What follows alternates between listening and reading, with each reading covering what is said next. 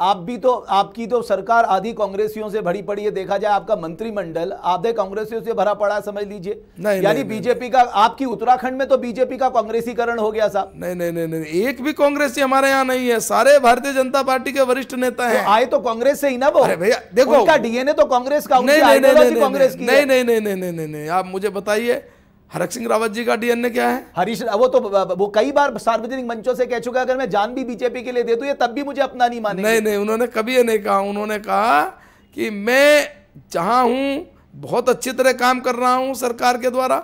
देखिए भट्ट जी एक बात बताइए आप मुझे। अगर भारतीय जनता पार्टी में ज़्यादा हालत खराब हुई थी जब बीच में उन्होंने संकेत दिए कि मेरे लिए कांग्रेस का भी विकल्प खुड़ा है आपको ब्रेकफास्ट में बुलाना पड़ा सुबह सुबह उनको। नहीं नहीं देखिए मैं सभी मंत्रियों को बुलाता हूँ लेकिन आप ये भी मानकर चलिए रमेश भाई कि नरेंद्र मोदी की नीतियों से प्रभावित होकर विकास से प्रभावित होकर विकास की नीतियों से प्रभावित होकर अगर कोई भारतीय जनता पार्टी की रीति नीति में विश्वास करके आता है तो स्वाभाविक तौर पर उसका स्वागत करना ये भारतीय जनता पार्टी का एज ए पार्टी एक बड़ा काम है, हम उसको करते भी हैं।